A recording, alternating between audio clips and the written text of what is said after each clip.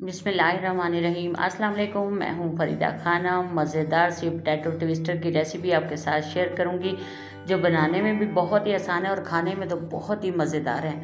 और बिल्कुल कम खर्च हैं, घर से ही चंद चीज़ें लेकर हम इसको रेडी कर लेंगे। तो मेरे साथ रहिएगा, वीडियो को फुल इंजॉय कीजिएगा।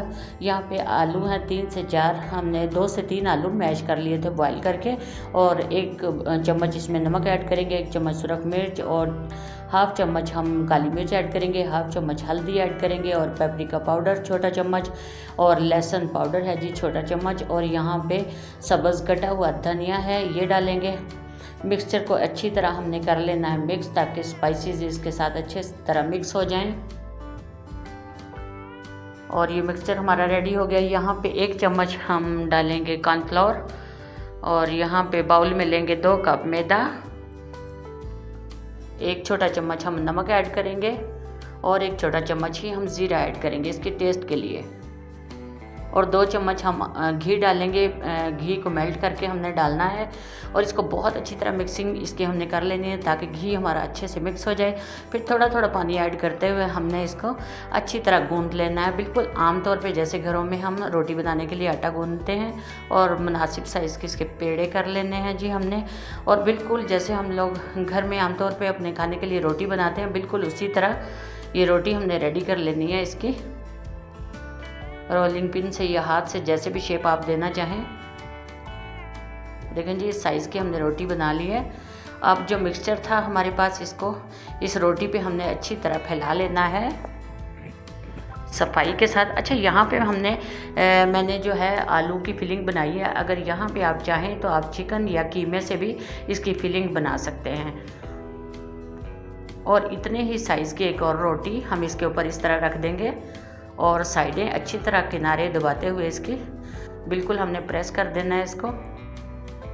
और साइडें जो एक्स्ट्रा पार्ट्स हैं, ये हम रिमूव कर देंगे इस तरह और बिल्कुल चकोर हमने इसको बना लेना है। ये एक्स्ट्रा पार्ट मैंने रिमूव कर दिए इसके। दोनों साइड, ये देखें जी, बिल्कुल इस तरह चकोर हमने बना लेना है। अब इसकी मुनासिब साइज़ की हमने कटिंग कर लेनी है। बहुत ज़्यादा मोटा नहीं करना इसको। मुनासिब साइज़ में इस तरीके से सारी इसकी हम कटिंग कर लेंगे।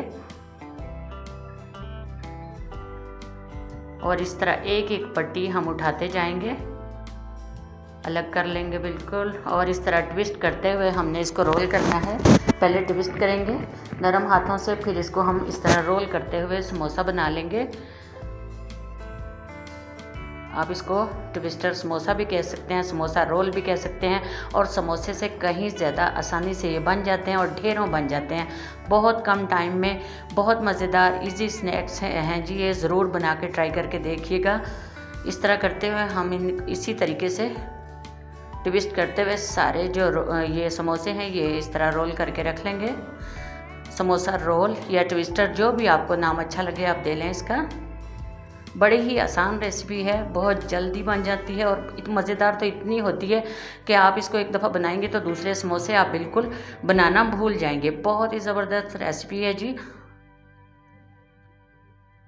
सारे हमने ये जो रोल हैं, इसी तरह तैयार करके रख लिए हैं। इधर हमने ऑयल को रख दिया था चूल्हे पे मीडियम से फ्लेम पे हमने इनको खूबसूरत से जो हमारे ट्विस्टर समोसा बने हैं, इनको फ्राई कर लेंगे। और नॉर्मल सी फ्लेम पे ही हमने इसको फ्राई करना है दोनों साइडों से पलटते हुए अच्छा सा खूबसूरत सा इनका गोल्डन कलर आ जाए तो हम निकाल लेंगे। देखिए जी, कितने खूबसूरत, अल्हम्दुलिल्लाह अल्हम्दुलिल्लाह, बहुत ज़बरदस्त, जितने ये देखने में आपको खूबसूरत लग रहे हैं, इससे कहीं ज़्यादा ये खाने में मज़ेदार हैं। और बिल्कुल झटपट बन जाने वाली रेसिपी है तो कोई मेहमान आए, कोई दावत हो, कोई फ़ंक्शन हो आपके घर में, आप ये ज़रूर बनाइएगा, आपको बहुत अच्छे लगेंगे ये। और मेहमान भी आपकी तारीफ़ किए बगैर नहीं जाएँगे, और रेसिपी लिए बगैर नहीं जाएँगे। तो ज़रूर बना के देखिएगा। ये मेरी मज़ेदार आसान सी रेसिपी आपको कैसी लगी? केचप के साथ, चटनी के साथ मैंने सब्ज़ चटनी दही के साथ बनाई है इनके साथ। आप चाहें तो केचप के साथ भी सर्व कर सकते हैं। बहुत ही मज़ेदार, आसान रेसिपी है। बाकी तमाम समोसे वगैरह जिस तरीके से हम बनाते हैं तो वो बहुत ज़्यादा टाइम लगता है। इसमें टाइम की भी बचत है, कम खर्च हैं, बनाने में आसान है, खाने में मज़ेदार हैं। ज़रूर बनाइएगा और प्यारा सा कमेंट करके फरीदा खानम को बताइएगा मेरी ये प्यारी सी रेसिपी आपको कैसी लगी। तो दुआओं में याद रखा करें, मेरे चैनल को कीजिएगा सब्सक्राइब, दोस्तों के साथ शेयर कर दिया करें जी, और प्यारा सा कमेंट कर दिया करें। अल्लाह हाफिज़।